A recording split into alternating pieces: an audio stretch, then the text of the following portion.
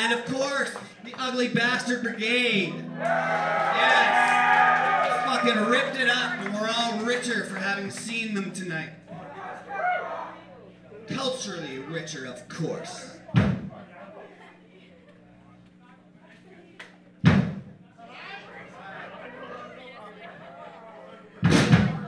Here's one from our first album Brutal Generation.